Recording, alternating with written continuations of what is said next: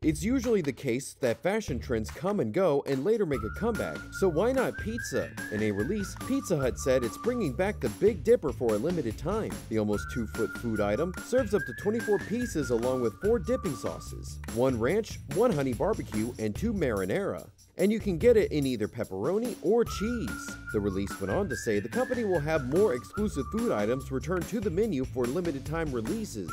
The Big Dipper is available at participating locations, and you can get it whether it's dine in, delivery, or pickup.